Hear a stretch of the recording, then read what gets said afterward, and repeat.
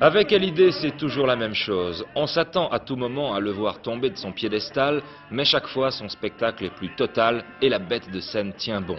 Alors, alors Hallyday ne serait-il qu'un professionnel sage et lucide? Nous avons bavardé avec lui quelques instants. Écoutez.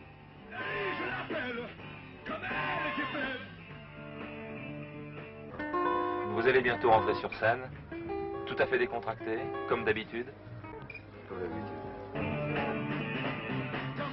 Vie est remplie mes et nuits. C'est le jour de tiens droit de je à genoux. Na, na, na, na, na, na, na, na. Mal, mal, c'est un amour qui me fait trop mal, mal, mal. On paye toujours, mais ça fait trop mal, mal, mal. Comme une bête, j'en souffle, j'ai mal, mal, mal. C'est un amour qui me fait trop mal.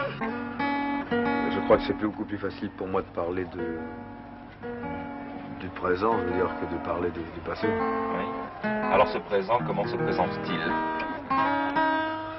Ben, je crois qu'il se présente pas mal. Enfin, Il se présente euh, avec beaucoup de travail, avec le Palais des Sports qui commence euh, le 24. Euh, ensuite,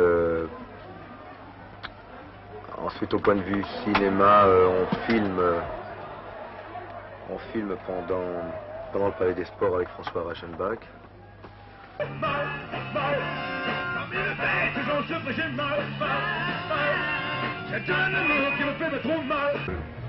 Les gens, quand ils sont habitués à un personnage sur la scène, un genre de, comme eux, ils considèrent eux un monstre sacré, euh, quand il va, quand ils le voient ensuite sur un écran en train d'interpréter le rôle d'un voyou, d'un gangster ou d'un policier, ils ont du mal à s'adapter parce que euh, ils, se- euh, ils ont trop dans la tête l'autre personnage de, de l'artiste. Est-ce à dire que vous allez laisser tomber le cinéma non, pas du tout. Je vais continuer, je vais persévérer. Je veux dire, je ne suis pas un dieu.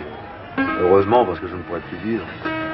Mais euh, disons que le métier que je fais porte à croire à des gens qui, sont, qui ne font pas ce métier, qui ne sont pas accoutumés à, à fréquenter des gens de ce métier, se disent, tiens, c'est c'est une drôle de vie quand même d'être chanteur et d'avoir des tas de gens qui se jettent sur vous, ça doit... Ça doit euh, Est-ce que c'est bidon ou pas? Euh, Je crois que simplement c'est un métier comme un autre. Euh, nous faisons un métier, en général, nous travaillons le plus souvent quand les gens ne travaillent pas, et nous sommes là pour, pour distraire les gens. Le public, c'est très important pour moi, le public fait un peu partie de mon tour de chance, c'est-à-dire que euh, euh, il participe avec nous sur la scène, et, euh, et c'est d'ailleurs pour ça que maintenant je refuse toujours de faire de- des émissions de télévision, des choses comme ça qui ne soient pas en direct, je veux dire, qui soient sans public, parce que je me suis aperçu que quand il n'y a pas un public, je ne euh, je me sens pas à l'aise, je ne peux pas bien travailler.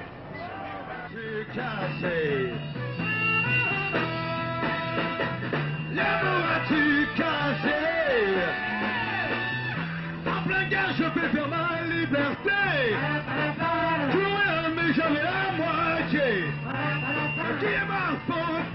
y toucher. En ce moment, on l'a toujours, malgré moi, j'arrive à te cacher.